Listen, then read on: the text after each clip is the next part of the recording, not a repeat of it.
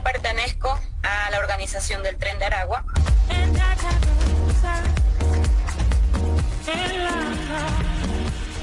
No he amenazado al señor coronel Víctor Rebolero Farfán. Había contratado, había mandado a traer a unos, amigos de, de su mano asesinos. Wanda estaba ofreciendo 40 mil dólares por... ¿Por qué? Por un revoleo. Un revoleo. ¿Cómo podía tener yo a mi lado a mi hijo en esas circunstancias? Nunca he dejado de ser madre, nunca. De niño, su trabajo de, de manualidades ya expresa, y expresa manejo por las armas, una, una pistola donde él indica que debe vaciarse a cero, disparo a través de, de proyectiles. Se declara fundado el requerimiento de prisión preventiva contra Wanda del Valle Bermúdez Viera por el plazo de 18 meses.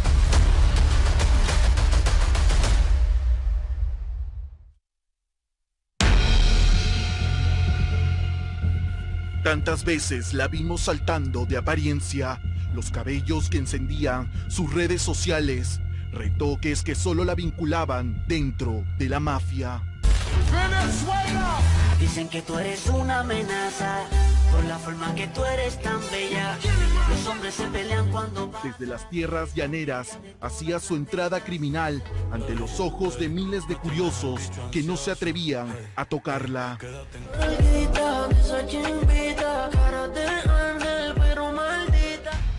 De negro parpadeaba solo para seguir con su marcha de fuga, con las mismas joyas, con la misma sonrisa desafiante, porque no se dejaría atrapar.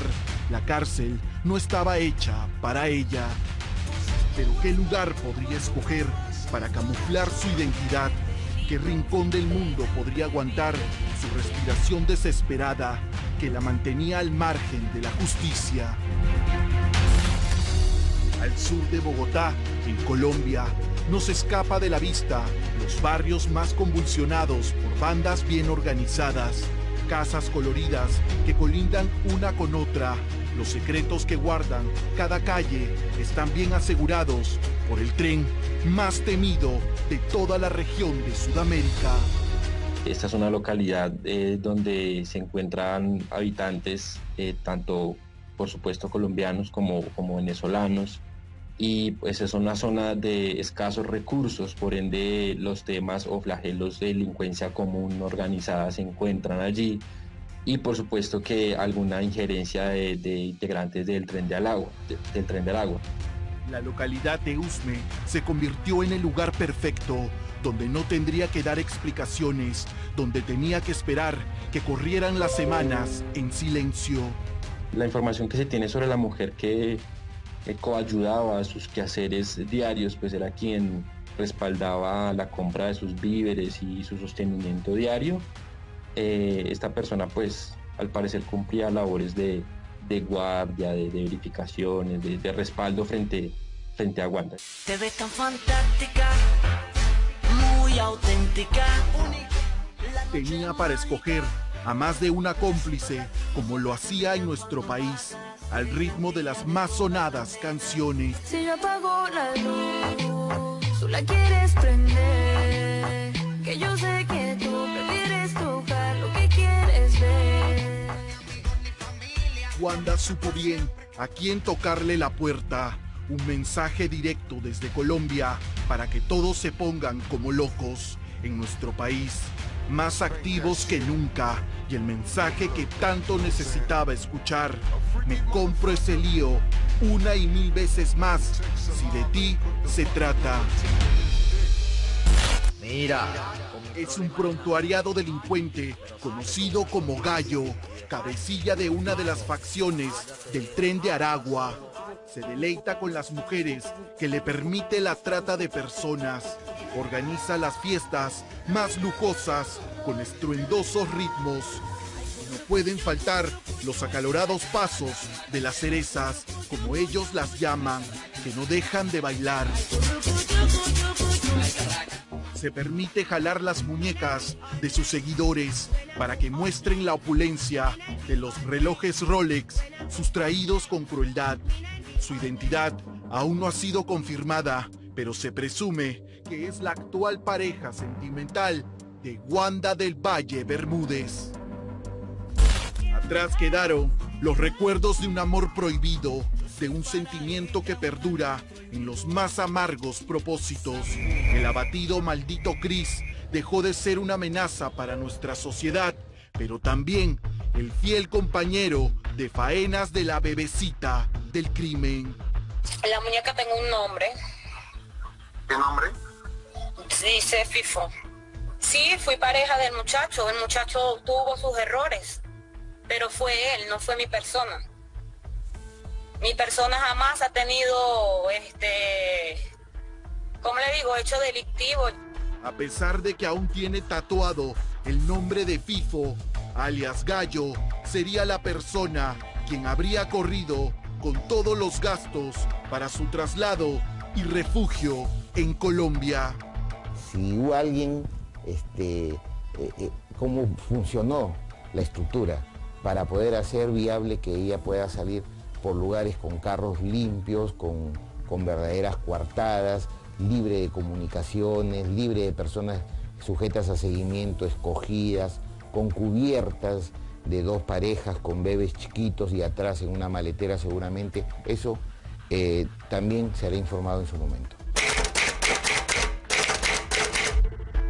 El error que le costaría caro llegó cuando no aguantaba un segundo más el encierro, cuando su aire de libertad se apagaba. Según fuentes de la policía, el dinero se le acababa hasta que recibió un depósito a nombre de otra persona que tenía que cobrar por su propia mano. Sabía que al mediodía no habrían muchas personas y salió sola, caminando con una mascarilla. Teníamos información de que pues, esta mujer podría representar un riesgo, así que se hace un despliegue operacional con los efectivos suficientes para rodearla, para en caso de que sea necesario reducirla. Ella inmediatamente eh, se alarma y emprende la huida. Por supuesto que la reacción inmediata de, nosotros como, como policías permitió pues alcanzarla, retenerla. Ella pues entonces manifiesta en ese momento no tener documentos y, y además de eso encontrarse eh, en estado de embarazo suplicó por piedad más de una vez por su estado de gestación que no pudo confirmar, ya que mostró unos análisis clínicos que estaban con otro nombre. Retenida al paso de todas sus conspiraciones y ensaña por la venganza que corría en una mente distorsionada por el AMPA, le leían el motivo de su captura y la alerta roja internacional en 195 países con todas sus características físicas de la bebecita del crimen. El delito que se le atribuye a usted, Guarda, es el delito contra la conspiración y ofrecimiento para el delito del sicariato. Los tatuajes que no podía ocultar, las esposas tan frías como la celda que aguardaba sus lamentos, sumado a las huellas que la identificaban plenamente. El derecho debería ser más simple, más lógico. Es por eso que hay sistemas que tienen jurados que no son abogados. Porque en, el derecho, que es una de las fuentes principales de la justicia, todo es argumentable.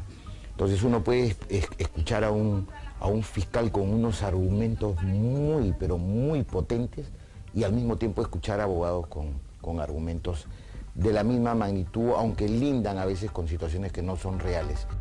El general de la policía, Óscar Arriola, enfatiza la actuación de la defensa legal de Wanda del Valle, que fue sometida a una audiencia de prisión preventiva.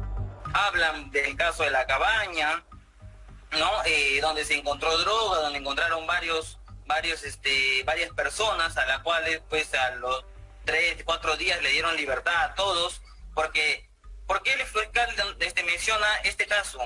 porque la quiere vincular a ella como si tuviera eh, una investigación por tráfico ilícito de drogas. En agosto del 2022, la policía desbarató el búnker de la cabaña en San Juan del Urigancho era el primer atisbo de su existencia.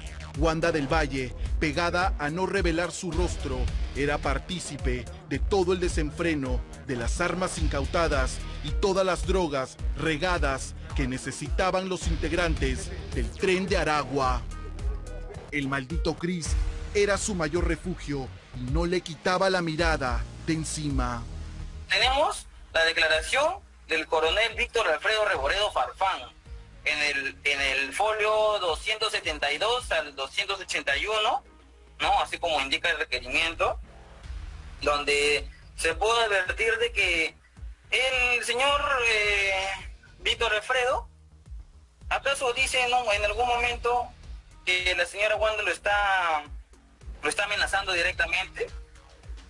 No, no dice eso tampoco en su declaración. ¿Qué es lo que dice el señor este Reboredo? ¿No? Dice eh, que pertenece al tren de Aragua, que es la pareja de, de, Christopher alias FIFO, ¿no? Que, que conoce a la persona antes manifestada, que es el señor Luis, ¿no? O sea, todo lo que no, el señor Luis, Luis Alberto Castaño lo dice que lo ha visto, que lo conoce, que ha escuchado que la señora Wanda lo está queriendo amenazar. Para estructurar amenazas en las más altas esferas dentro de la policía peruana, no podría hacerlo de forma directa.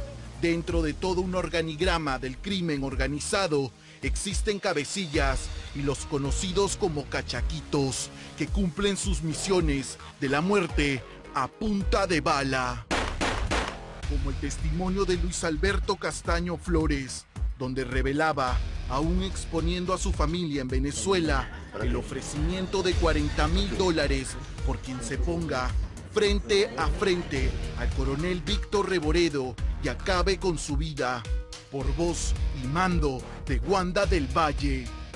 ¿Pero quién? ¿La Wanda? La, Wanda estaba ofreciendo 40 mil dólares por... ¿Por qué? el reboreo. El reboreo.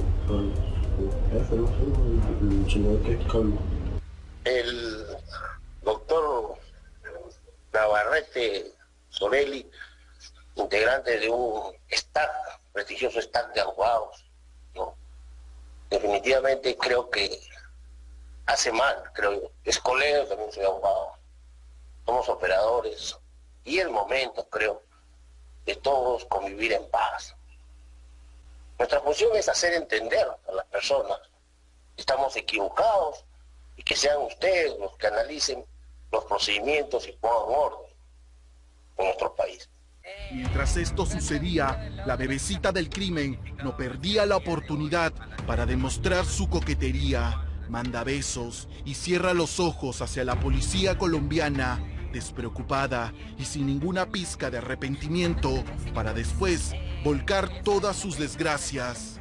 ¿Cómo yo trabajo si estoy siendo perseguida por la justicia, si no tuve la oportunidad de, de demostrar yo, de darle mi declaración? ¿Quién cree usted que me va a dar a mí un trabajo legal, un trabajo honrado, cuando yo tengo una alerta y estoy siendo perseguida por la justicia y no he podido arreglar mi situación? ¿Cómo podía tener yo a mi lado a mi hijo en esas circunstancias? Tampoco dio detalles de las personas provenientes de Venezuela que según uno de los gatilleros más letales de la organización habrían llegado con la intención de asesinar al coronel Reboredo. Ella había contratado, había mandado a, traer a unos, amigos de, su hermano asesinos, y uno ¿Cuántos de eran? seis. Y entre esos seis estaba un primo mío. Quiero que entienda la señora este, Wanda del Valle Bermúdez Viera que está bien. Ellos, los integrantes del Tren de Aragua, han elegido a mí. Está bien, no hay problema. No hay problema. Nosotros estamos acá con el brazo de la justicia. El día de la justicia divina nos ha puesto frente a su tribuna, usted, señor juez. Y yo estoy seguro que lejos de apasionamiento, Acá no hay ninguna diferencia, creo que por usted, que yo soy policía y que la señora Wanda del Valle es venezolana y nosotros la estamos atropellando. No, jamás. En dicha audiencia solo se contempló la amenaza que recibió el jefe de homicidios, Pero también existe evidencia que Wanda confabulaba con los acérrimos compañeros de armas del maldito Chris que juraron venganza contra el jefe de secuestros de la Dirincri, el coronel Jorge Carpio y todo su personal. 40 mil dólares por todos aquellos que estuvieron en dicho operativo donde resultaron heridos efectivos policiales. Las personas que no deben absolutamente nada haciendo gala de ese viejo abajo, el que no deben, nada debe, nada teme, uno se presenta a la justicia y dice, he escuchado por los medios de comunicación esta versión y quiero rebatirla por A, B, C motivo no tengo acceso a ese teléfono, no lo conozco a esa persona, o tiene una animadversión y tiene algo contra mí, y esta soy yo, tengo un hijo, me, equivoqué y tuve, en fin. Soy una persona que sería incapaz de atentar contra la vida ni ofrecer dinero para que hagan eso a alguien. No tengo ni siquiera el presupuesto, no tengo las intenciones. Y bueno, como el coronel mismo dijo, también creo en la justicia divina y la justicia de Dios. Creo que el que hace mal, le va mal. Son 18 meses de prisión preventiva. No fue la justicia divina, sino la justicia de nuestro país, que en medio de toda una investigación determinará toda la culpabilidad que pesa sobre Wanda y su círculo criminal. Una historia que aún no puede cerrarse hasta que en los próximos días las autoridades colombianas aprueben su expulsión definitiva a suelo peruano.